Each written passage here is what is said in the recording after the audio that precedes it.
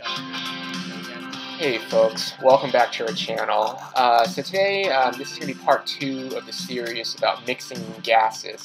Um, if you remember from our first segment um, back the, uh, a couple weeks ago, we did a video on um, making duster gases um, with propane and comparing the different properties of propane versus duster. As a quick review, um, if you remember uh, from that slide, or from that video, sorry, uh, we used a G19 made by WE, and we found that uh, if you use just propane, you get anywhere from about 45 to 60 shots um, out of propane alone. If you use duster alone, on average, you get anywhere from about 85 to maybe even 95 uh, shots out of the uh, out of the duster. Um, and then when we mix them together, um, in that magic ratio we found was about 10% propane and 90% duster. Uh, we're able to find out that um, you get a kind of a hybrid effect. So you get a slightly higher FPS, um, but you also get more shots out of it, so a higher gas capacity than um, propane alone, and a stronger FPS than, say, duster alone. So that was kind of cool, right? So we wanted to replicate the study and see if that was the same. We tried that again with the um, Glock uh, 26 this time by Marui. And we kind of got slightly different results. Um, we found that, again, the duster gas was able to have a stronger, more higher capacity in terms of gas than the propane alone. Um, again, the number is going to be slightly different because we're using a G26 magazine this time. And remember, the G26 magazine is a lot um, smaller in terms of gas reservoir, so you're going to get less shots. But the overall pattern is still the same, where um, you get more um, uh, more out of a duster gas fill than the Admiral propane fill. Where it kind of started getting a little bit dicey though was where the results were conflicting was when we started mixing it. We used that magic ratio again and we got like less shots than either propane or duster. Um, now a lot of variables were put into play that day, but the biggest one being that we really ran out of gas um, at the end of the test, and so those weren't really reli reliable results.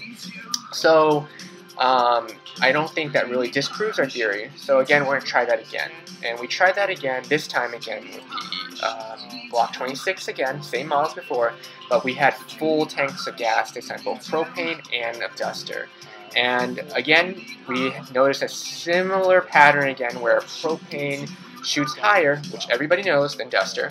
But uh, Duster got a little bit more out of it um, in terms of the gas capacity. Got more shots out of the Duster than propane. Now, it wasn't that dramatic this time, though. It was only by a few shots, so you can argue that might not be really statistically significant, right? But when we mixed it, we still got that hybrid effect. So we got a slightly higher FPS uh, than Duster alone, uh, but we got more shots out of them. Actually, either of them, either the propane alone or duster alone in this case. So that was kind of uh, kind of supportive. I think I can make an argument that I didn't really fill the duster magazine correctly. I didn't fill enough of it. Um, that's why we didn't see as, bit, as dramatic of a difference in terms of capacity. Because look at this test. I'm borrowing this slide from my video on the magazine capacity series of the new Tokyo Marui G19.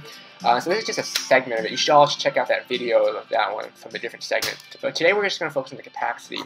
And if you notice here, um, the G19 magazine really uh, shoots um, a lot, uh, a lot more. So in the lime green section right there, that is basically um, propane. Now that just that lime green section, that's data borrowed from data being a YouTuber out in the UK. So I didn't really run propane in my guns, but um, I'm borrowing his data. And he was able to report about 45 to 50 um, 45 to 50 rounds, which if you look back to our studies, our initial studies using a G19, um, again, it's a, it's a WE, but we use, still use a G19, and so the reservoirs are rough, roughly the same. And we got kind of the same thing, you know, around the 50 to 60 ballpark. So both his data and my data kind of supports the fact that with propane alone, you're going to get around that 50 um, rounds um, capacity mark. Now, I took those same magazines and compared it with different G19 magazine and a G17 magazine. I know that's a little bit larger in terms of capacity, but um, there's more details in that video, but for the most part, look at the dramatic difference you'll see here. Uh, you're getting anywhere from 95 to 100 and over 100 rounds easily um, with Duster alone. The key here being though that it has to be room temperature uh, because cold weather is the huge is a big enemy of gas in general, but especially Duster gas. So, but if you're able to keep it at a room temperature, um, you you definitely definitely get a larger um, capacity um, compared to um, uh, just propane alone. So overall, if you combine all these results um, from the initial tests we've done to the repeat test to the repeat of the repeat uh, to extrapolating data from the UK um, to our other Glock videos, the general consensus is um, this is that summary slide um, that we saw initially, and it kind of confirms it. Again, remember propane, you get higher FPS, but the trade-off is you don't get as many shots. Um, with Duster, you get a lower FPS, but the benefit is that you get much more shots out of it. Um, now, of course, this is all assuming you're running at a room temperature environment, because remember, all bets are off if you're in like cold weather. Um, Duster is notoriously bad during cold weathers. Um, so this is talking about mainly during the summer. And then, of course, if you're going to mix them together, you get that magic ratio. Um, what we're talking about is 10% uh, propane and 90% duster. If you do that combination, you kind of get a hybrid effect. So um, a little bit more in FPS um, and a little bit more in capacity. And that really might be the answer to go. Like if you're afraid that, for example, that you might crack the slide on your Marui, um, that's again, that's another topic we can talk about. But this is kind of a midway uh, that you can go in between. Um, you can kind of get uh, a little extra umph uh, to your performance, to the recoil and FPS without damaging the slide. Um, well, hope you folks found this stuff helpful. Um, this is now the conclusion of our uh, series on mixing gases um, and their overall effects. And so we tried our best to, um, you know, get as many data points as we can. So you know that law, law of like large numbers or whatever. Um, so I think that's a pretty good uh, argument um, about these different gases here. hope you folks found this stuff helpful. you know, give us a like. give us more feedback. so a lot of these things are built on feedback from y'all.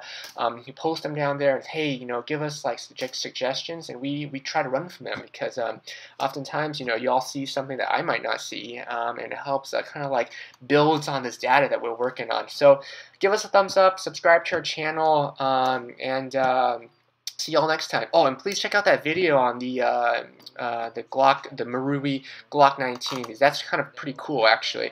All right, see y'all next time.